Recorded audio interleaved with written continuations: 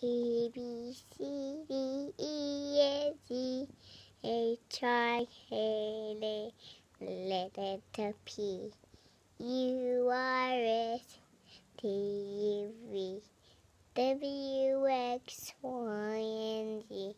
Now I know my ABCs.